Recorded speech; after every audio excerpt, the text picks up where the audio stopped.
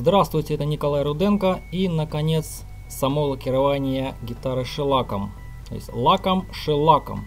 Значит, для этого нам понадобится, так как технология политурная, нужна шелачная политура, достаточно разбавленная. Как ее делать, э, есть специальное видео. Тампоны и вазелиновое масло, чтобы тампон, собственно говоря, не прилипал к лаку. Такая смазка. И первое действие это нанесение масла в первый раз такое не, не, не, не, особо обязательное действие. Я решил его специально как-то проакцентировать. Э, значит, наносим масло, в общем-то, основной акцент надо сделать на, на то, что масло мы наносим не на дерево чистое, а на грунт, который мы сделали в предыдущем видео серии. То есть предыдущая операция это была нанесение грунта. То есть не нанесите масло себе на дерево, вам потом придется вымывать из дерева. Ну, можно, конечно, оставить, будут такие масляные пятна, если они кого-то не напрягают.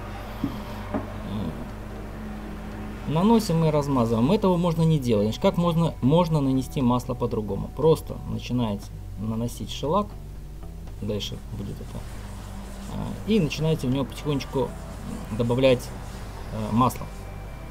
Вначале, когда тампон будет наполнен шелаком, он будет нормально ложиться, вы будете так не сильно давить, это потом уже обсудить, э, не сильно давить на деку, и она как бы не будет прилипать. А потом по мере значит, заканчивания э, политуры в тампоне вы будете усиливать э, давление на тампон, и вот тут вот и начнете какие-то круговые движения, и в этот момент он может начать прилипать, и вот, вот в этот момент масло э, нужно. И вы начнете его постепенно добавлять, Э, и в конце концов у вас вся дека будет покрыта маслом. В следующий раз надо будет уже добавить намного меньше. То есть вот эта операция, это так, для наглядности. Вот масло нанесено и, собственно говоря, шелачка наконец.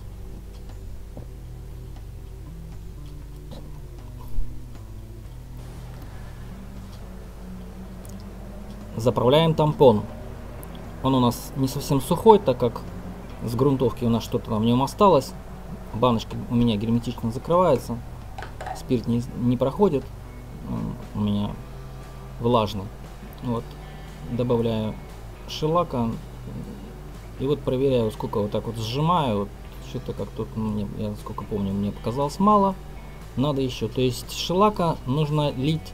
Э, не надо, чтобы с тампона но жадный тампон это будет долго будете покрывать. То есть вот начали сжимать слегка, вот он начал сжиматься тряпочка, и вот э, политура должна проступить.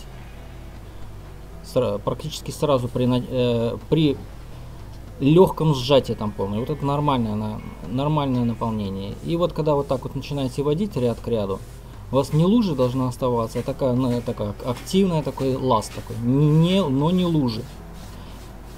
И вот особенно вот когда вы сейчас начинаете делать перекрестно, вот э, показатель того, что у вас слишком много шелака, вы начинаете, начинает сразу цеплять. Вот если вас не цепляет, значит, значит тампон вы нормально наполняете. Это уже идет с маслом. Поэтому, но если тампон перелить, э, в тампон перелить, то вы почувствуете такое вот э, цепляние даже, даже с маслом. Я думаю, что если кто-то может переусердствовать, то можете даже что-то начать срывать, смывать, скажем так. Э, есть какие-то гитарные мастера, которые жале, жале, жалелись, что э, вот как-то наполняет, наполняет, наполняет тампон, что покрывает, покрывает, а слой как-то вот э, не начинает увеличиваться на, на деке. Мне мой учитель рассказывал. Вот. И вот я думаю, что причина, может, возможно, вот в этом. То есть э, следующими слоями смывается предыдущий. Так, ну вот уже пошли круговые движения. В общем, тут какой-то, я уже говорил, какой-то схемы особо нет. То есть будет какая-то, если у вас очень четкая схема, пока движение, значит у вас будет какие-то пятна. Пятна активного покрытия, пятна неактивного э, покрытия. Особенно если шелак у вас имеет какой-то тон. А классический шелак имеет такой тон коньячный. Вот. У меня здесь блонд, который, кстати, потом перестал засыхать. А, вот в этом месте, вот под э, накладкой, не надо слишком сильно акцентировать давление. То есть если будете проводить вдоль накладки и в этот момент надавливать на тампон, у вас там будет полоса. Вот в этом месте. То есть так как особо не акцентируете, тогда у вас будет такой легкий, э, э, там никуда от него не деться, если специальные меры не предпринимать. А, будет такой легкий ореол приятный, но не будет такой полосы. Потому что при нажатии на тампон, если из его середины выделяется больше политуры, и, а в угол само не попадает. Есть, а с края будет, а с краю а сразу от этой полосы будет меньше. Вот, вот. И тогда у вас, и у вас будет получается э, светлая полоса сразу в углу, потом темная такой шелак полоса, и потом опять светлее, она будет сильнее проявлять. Вот если не будете акцентировать, будет такой легкий просто ореол посветления вдоль накладки. Но есть мастера, что значит по-разному с этим решают этот вопрос. Есть маленький тампончик применяют, такой просто тряпочку. После каждой вот так вот заправки тампона специально берут и проводят это место. Либо кисточкой. В общем, выбирайте сами, ореол вам, или решать будете этот вопрос с помощью кисточки или дополнительного прохода тампоном. Вот точно так же и подставка, естественно, мешает работать. Если у меня ее нету, но вот если она есть, то, конечно, избавиться от ореола очень тяжело. Ореол обязательно будет, скорее всего, небольшой. Ваша, ваша цель его фактически сделать небольшим, а не убрать полностью. То есть, если, конечно же, в шелаке есть тон. Если в нем тона нет, если он почти практически прозрачный, то это, решает проблему ореола в большей мере. Потому что этот шелак блонд, он тоже дает небольшой желтый э, отлив такой. Потом она вот эта вот сейчас бумажка белая у меня там здесь закрыта подставка, а вот в конце, э, если не, не забуду, а вы посмотрите тоже, как она пожелтеет. Так, ну вот смотрите, первый, первый, первый тампон после, видите, уже какой-то глянец появился. Видите, мастер умеет шелачить. Есть глянец. Ну вот кому-то может уже достаточно. Зачем уже? Уже все хорошо.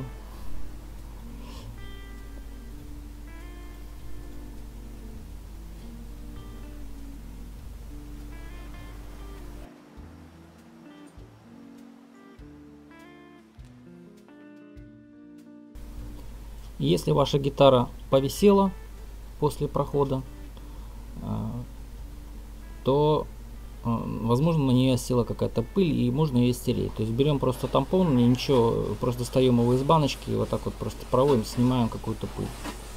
Потому что каждый раз закатывать эту пыль или каждый раз что-то там шкурить. Э, шкурить можно, конечно, через, если несколько, как час, там, два прошло, то, наверное, можно какой-то микронкой так пройтись по верхам. Если у вас особенно что-то попало, вы так сильно видите это, то закатывать это внутрь не нужно. Но чтобы это немножко предусматривать, ориентировать, то можно вот так вот снять сухим тампоном, снять пыль и вот теперь вот заправка.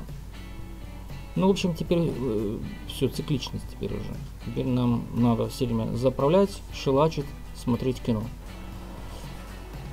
Ничего такого нового не скажешь. Разве что какие-то вопросы по самому непосредственному движению. На форуме меня спрашивали, что делать, чтобы когда идешь тампон, он не прилипал. Честно говоря, как-то трудно ответить, потому что он меня особо не прилипает. Но, наверное, важным моментом э, при залипании тампона является, что вы не должны останавливаться. То есть постоянные какие-то движения. Если вы останавливаетесь, то есть э, вы просто вы должны снимать тампон с деки. То есть вот первые движения, они как раз такого плана. Вот я специально сажусь так, чтобы как-то был вам виден бли, э, в блике виден лаз, Потому что вообще-то я, я сажусь так, чтобы он не был виден. То есть я буду немножко не очень ровно вести. Вот видите, хорошо видно лаз, как она, как политура просыхает. Раз и просыхает. Вот. Вот это ваш критерий.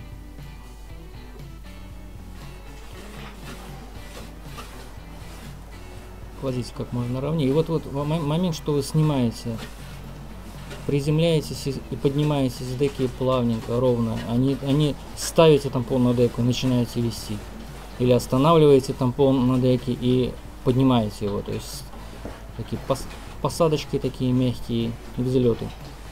Вот. А когда начинаются круговые движения, то вы не останавливаетесь ни в каких мертвых точках. точках. Это основной, наверное, критерий. Ну, не опрокиньтесь еще, это я, уже говорил где-то в каком-то видео. Не опрокиньтесь. А, то есть держите тампон а, таким образом не слишком высоко. Потому что э, если вы опрокинетесь, то попадете ногтем в деку. И вот это вот отверстие звуковое, это тоже небольшая засада. То есть и, и, можно туда случайно попасть и э, ударить ногтем э, куда-то там. Или в торец, или где-то рядом в розетку. Хорошо, хоть на жестко. Ну, вот, в общем, это тоже небольшая проблема.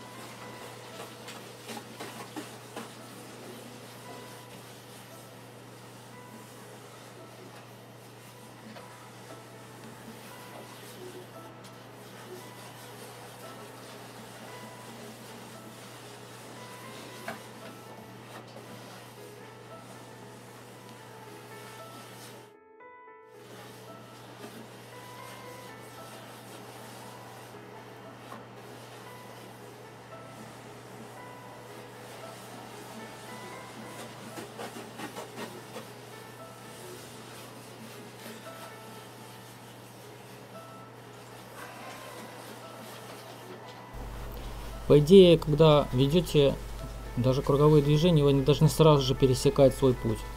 Есть, возможно, я тут это иногда делаю, потому что я не очень удобно держу гитару, собственно говоря. Но следите за тем, чтобы сразу не пересекать.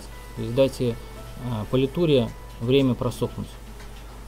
В принципе, это, конечно, чувствуется тем, что залипает или не залипает тампон, но все равно вот делайте движение и сразу не пересекаете дорогу. Но учитель это постоянно мне об этом говорил. Считал это очень важным моментом. Но я какой-то такой сильный не вижу сразу такой проблемы, если ты, ты пересекаешь свой путь. То есть, наверное, это зависит от концентрации и э, политуры. Ну и, в общем, по кругу. По кругу. Если гитара повисела, то стираем слегка пыль. Я, э, можно по-разному покрывать. В том плане, что а, можно заправил тампон, а, прогнал, ну э, и повесил, да, и какое-то время она повисела. Ну, ну, я думаю, что можно три, я заправлял три раза тампон, то есть три раза заправляешь без пере, перерыва и шелачишь. И потом вешаешь на, там, на час гитару на полчаса. Ну, в общем, это э, не очень сильно важно. То есть, в конце концов, надо дать шелаку просохнуть уже потом, когда вы нанесете весь основной слой, просто дать ему просохнуть. А вот, вот эти вот моменты, э, наверное, не так сильно важны. Вам важно э, просто не смывать жирным наполненным тампоном, сразу же не смывать свои слои. Если вы будете вести таким тампоном, то, наверное, можно на всю бутылку наверное, за раз нанести. Это, конечно, я так, честно говоря, никогда не делал. То есть там чувствуется, уже начинает чувствоваться, что вы будете по такому очень... Слой такой становится такой липкий, что ли. Какой-то немножко такой мягкий очень, эластичный, как-то так чувствуется это. Вот. Тем не менее, я думаю, что надо, и, э, э, можно очень много тампонов за раз выгнать. Э, практически это ограничено, наверное, не, не, не каким-то количеством, а просто, просто физически. тяжело, например, сидеть там целый час, например, шалачить. То есть через час хочется отдохнуть уже через какое-то время. Вот. Нажим, кстати, я вот просмотрел видео и подумал, что вот есть там какие-то техники там, да, вот это что типа вот эти мастера, которые вот это делают гитары на коленках, э, вот, значит, э, если вы эти мастера, которые делаете гитары на э, станках, тогда вот этот момент, насколько сильно давить на деку, у вас как бы ограничено одной рукой. А вот если когда держишь гитару таким образом, как я держу, то есть я ее регулирую и другой рукой. То есть помимо того, что я как бы давлю рукой на деку, над гитару, я и гитарой давлю на руку. То есть как бы это такое встречное движение обоих рук. Мне кажется, что так очень э, удобно дозировать само это движение, само давление. А давление, оно, э, естественно, я уже говорил в самом начале, это интенсивность э, шелачки.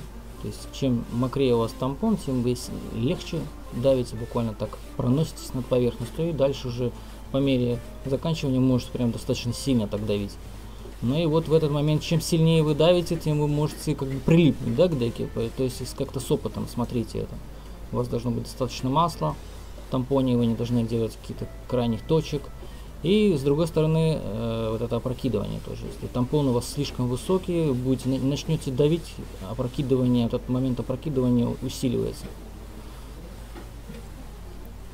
Видимо, как-то какая-то что ли, э, знаете, в управлении там велосипедом не надо держать э, гри, ручку руля грипсу слишком крепко, чтобы пальцы белели.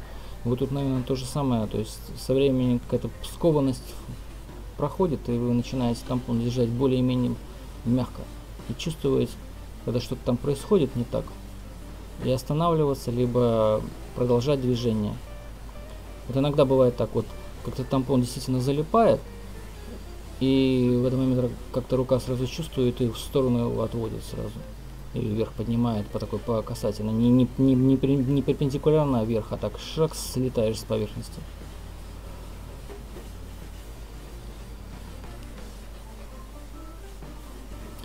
Края можно хорошо сорваться тоже. То есть вот когда в талию вот так проходите, вот так э, слетаешь с поверхности и ударяешь по деке ногтями. Вот. А если вы практикуете еще и игру на гитаре, то, соответственно, на правой руке у вас должны быть какие-то когти. И вот эта вот шелачка и игра на гитаре, она несколько конфликтует. Длинные ногти реально неудобно, когда шелачишь крайней мере, э, беда, которая может произойти, если вы ударите длинным большим ногтем, это, конечно, можно пробить так, что это, в общем-то, и не исправить без спецмер каких-то. Это то, о чем лучше не говорить. Вот нет, пока и не надо об этом говорить. Не зовите зло.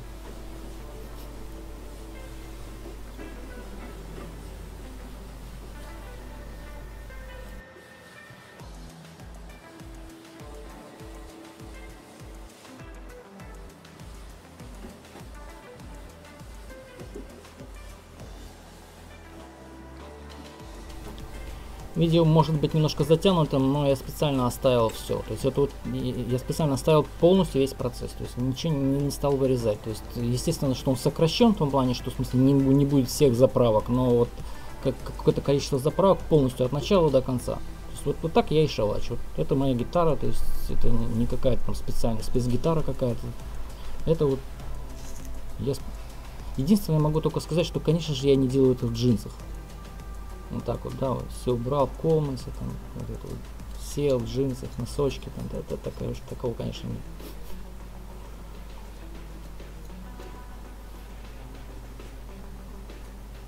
Кажется, что таким тампоном как-то не очень хорошо будет покрывать подставку из-за ее сложности ее формы. Ну, как-то, знаете, хорошо получается. Главное, что это не за один раз надо делать, а вот каждый раз буквально. Вот тампон а, Причем это надо делать тогда, когда тампон уже э, почти сухой. То есть совсем немножко остается. из-за того, что тут мало, маленькая очень площадь, жирным тампоном здесь, естественно, водить не нужно. То есть тампон практически сухой э, в самом конце по деке, когда он уже весь истрачен. И вот так вот подставки покрываете, они, знаете, очень хорошо покрываются. Это, это к вопросу о том, что кажется, что когда тампон уже совсем ну, уже лаз такой бень, идет коротенький, э, и кажется, что там уже ничего нет, но вот покрытие подставок показывает, что на самом деле что-то что там что-то все, все-таки там что-то есть.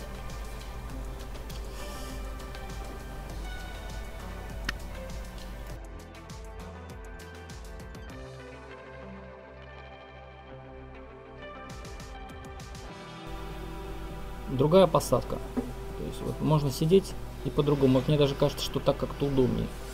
Как-то удобнее проходить место колонокладки. То есть вот, вот в этом месте, то есть как-то удобнее. То есть когда гитара наоборот, там есть мертвая зона, особенно около отверстия звукового, а здесь как-то лучше проходит.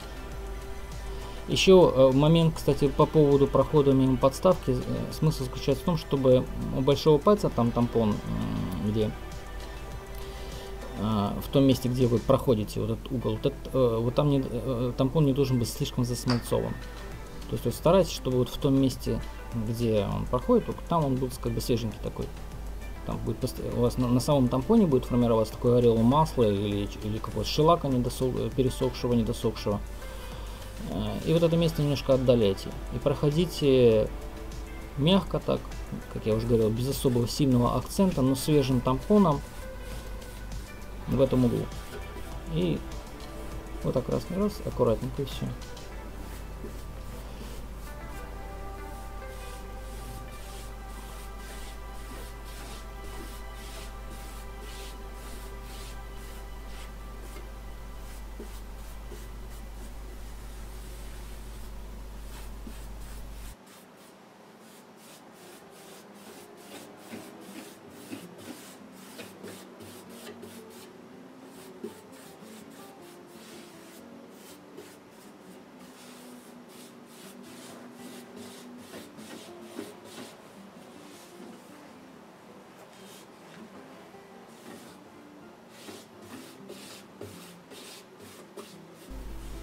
Гитара хорошо фиксируется пяткой, получается, острой пяткой она вот упирается в ногу и там достаточно крепко держится.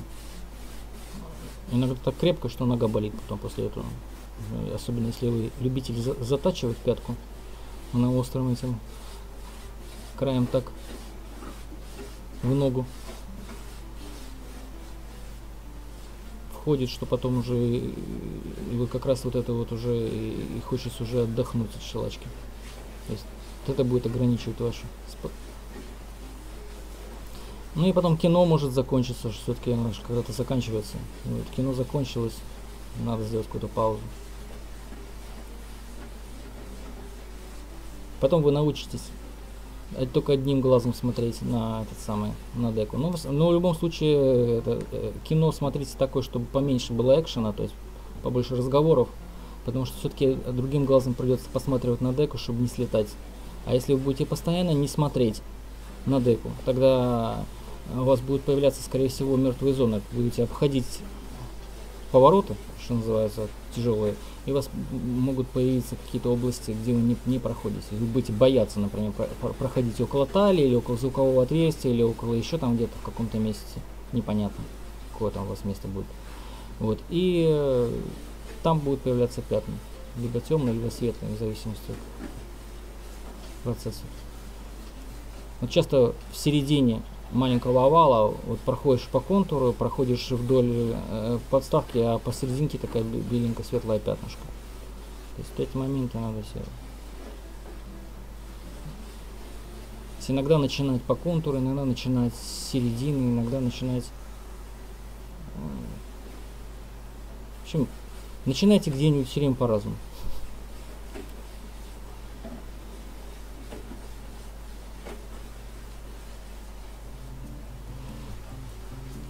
Такой вот этот блонд шелак, он, конечно, немножко расслабляет в плане равномерности. Но вот если э, подкрашенный шелак, то, конечно, высокая техника равномерности. Это с одной стороны. А с другой стороны, не, не, дум, не надо вот прямо как-то вот себя прямо вот э, казнить, да, или гитару там уже вот прямо сошкребывать все. После того, как вы покрыли каким-то затонированным шелаком, мы увидели, что все-таки есть какая-то неравномерность. Честно говоря, она даже как-то красиво выглядит. То есть такие эти переливы, видно, что это не фабричная какая, какая-то работа, ручная работа. Так что не надо вот прямо прям сильно.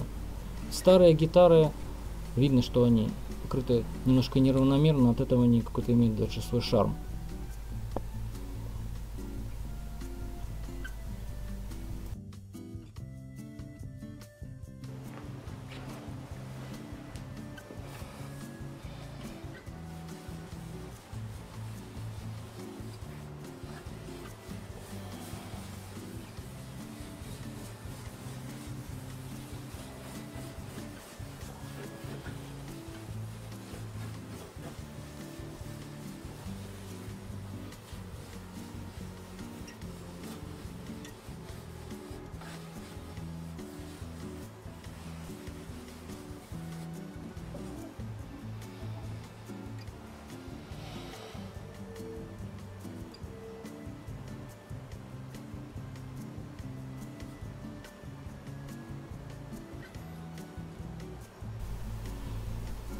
Хороший вопрос, сколько шелака, собственно говоря, нужно истратить для того, чтобы покрыть.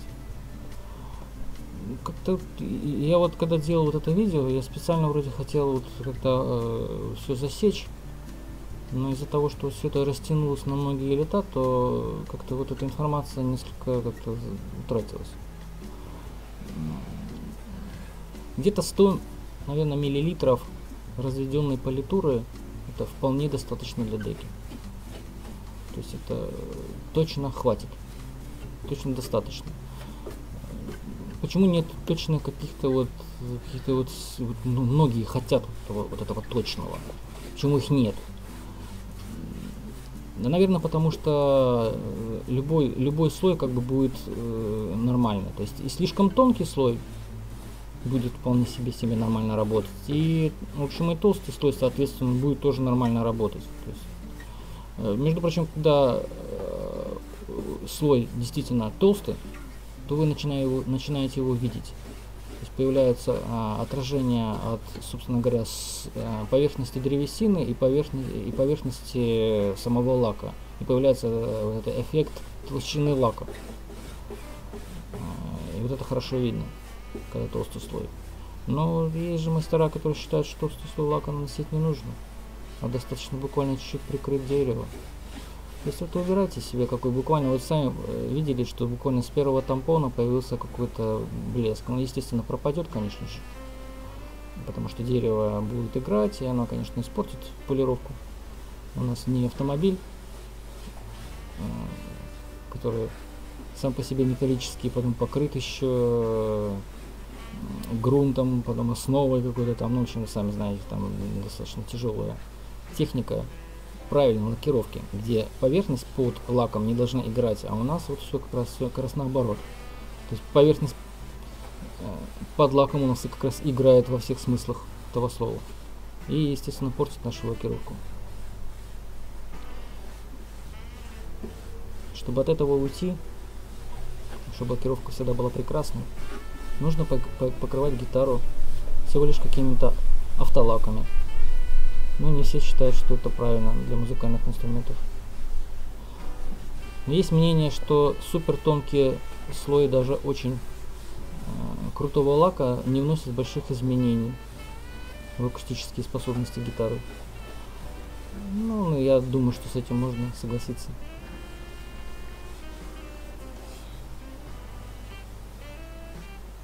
Не забывайте, сказать, по контуру проходить. Бывает так делаешь, делаешь, делаешь, так вот, а а вот, э, вот гитара по канту лысая. То есть это вполне, вполне себе можно вот так вот сделать.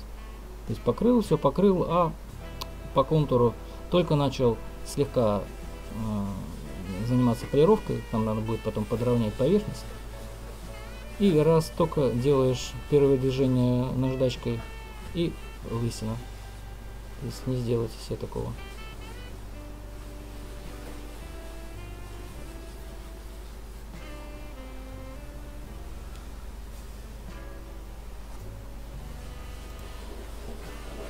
Есть еще видео с другой гитарой.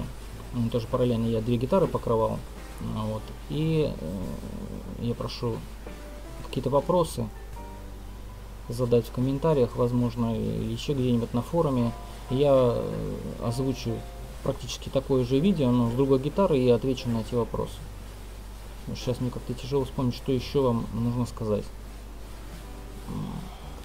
После нанесения основного слоя нужно дать ему просохнуть минимум хотя бы несколько дней, пару дней хотя бы, там люди говорят, что надо неделями там ждать, естественно, да, конечно, это хорошо подождать две недели, наверное, но как минимум хотя бы день-два надо прождать, прежде чем выровнять поверхность и приступить, собственно говоря, к полировке. Это будет в следующих видео. Мы будем выравнивать поверхность, которая сейчас, сейчас такая ровненькая, а потом заметите через два дня, что она все-таки какие-то неровности появятся. Вот. Ну, на этом все. До свидания.